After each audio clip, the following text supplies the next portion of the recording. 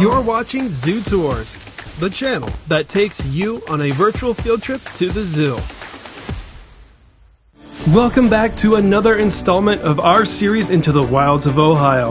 I hope you're all prepared for the finale of the open air safari. If you're not, it means you didn't watch part one and part two. We left off at the mid sized carnivore center. We once again got back on the bus to finish this two and a half hour tour inside even larger fields with even larger and rarer animals. But before we do that, let's get those comments going with this question of the episode What is your favorite conservation success story and why?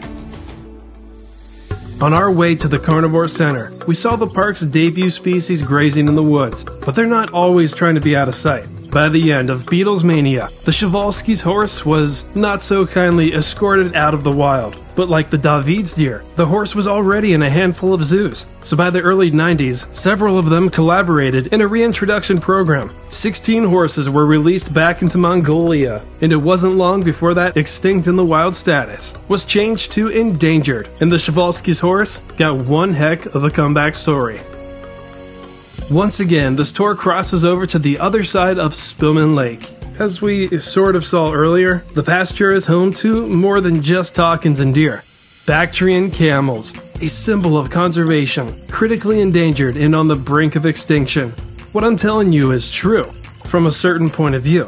What you're looking at actually doesn't technically even exist in the wild. They're domestic, but there are wild Bactrian camels in Central Asia. While it's common for the same species to branch off and either become wild or domestic, the two camels are actually considered a separate species.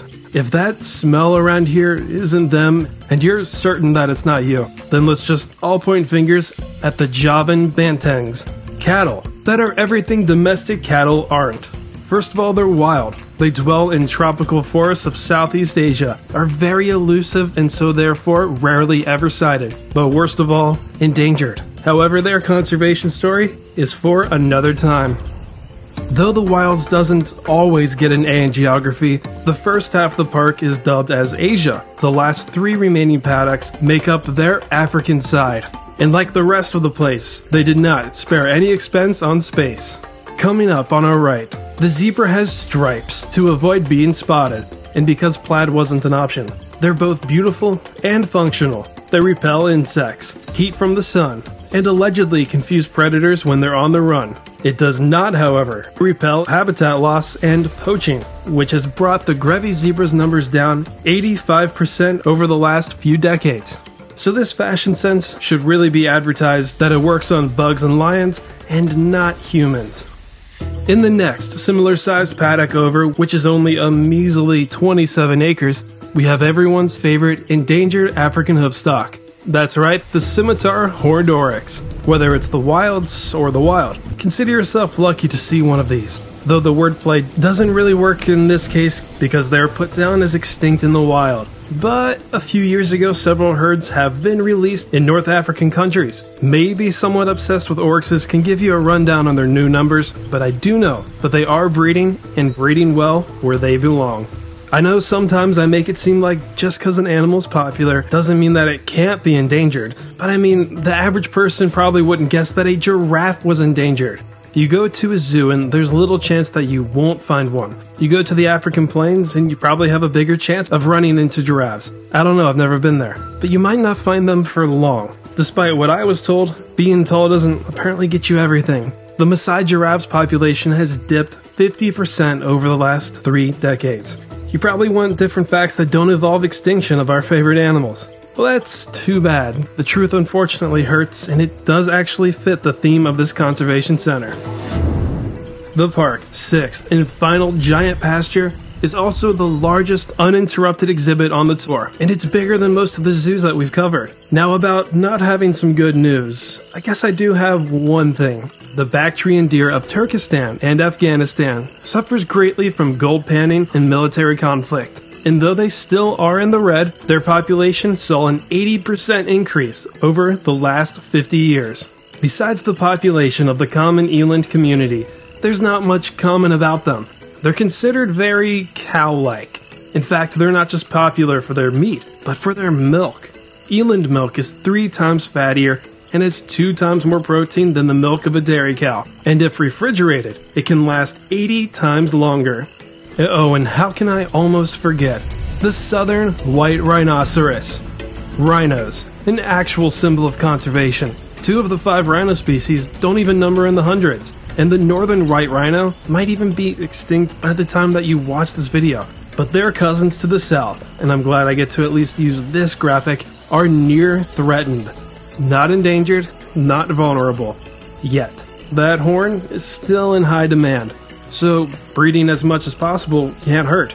The Wilds is the only facility outside of Africa to breed four and five rhino generations removed from their wild born ancestors. Their most recent baby boom marked the eighth fifth generation calf born right here. By this point, Joseph Williams was blessing the rains down in Ohio, and while I was the only one on the bus getting soaked, the rhinos were having the time of their lives. We were invited to join an earlier tour group, and so therefore we would have stayed dry. But in the end, I would not have traded it for this absolutely magical experience. A rhino coming at you may be a little unsettling, but believe me, that fear doesn't compare to a close encounter with an ostrich.